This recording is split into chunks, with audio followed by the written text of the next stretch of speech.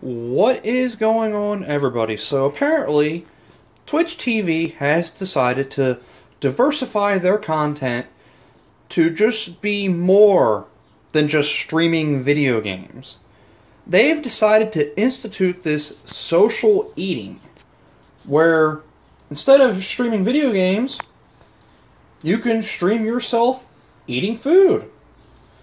And you know, the funny thing is, is that I remember back in the day, Twitch used to ban people for streaming stuff other than video game content.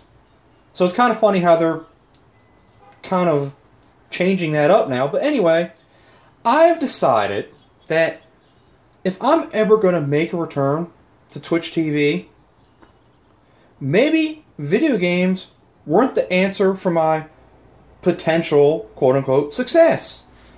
Maybe this is the answer. Maybe food is the answer. So, this is going to be a test video to see if maybe this will have legs or not. So, I'll see you in a bit and we'll see what happens. Alright, so let's do this. Because apparently, watching people eat food is considered great content. So let's see how it goes. Mmm. Good stuff. Really good stuff. Honeycombs is actually my favorite cereal.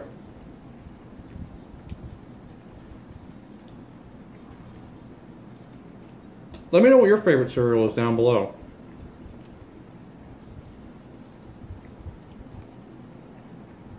Man, there's some riveting content here, isn't it?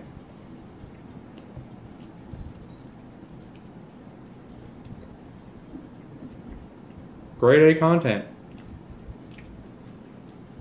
Now, you will never ever have to feel alone again when eating because you can just turn on someone's stream and watch them eat too. You'll never ever be alone again.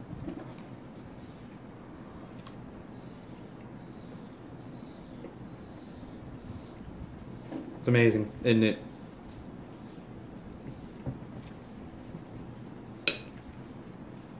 You know, they also made um strawberry honeycomb, which I actually have too, and that's actually pretty good.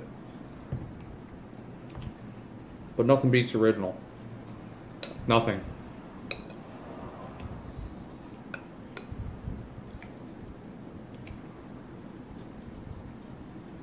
I hope you're being entertained.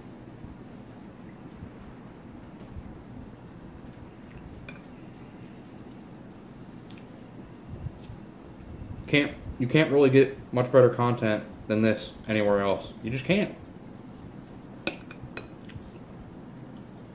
And you will only find this on Twitch TV.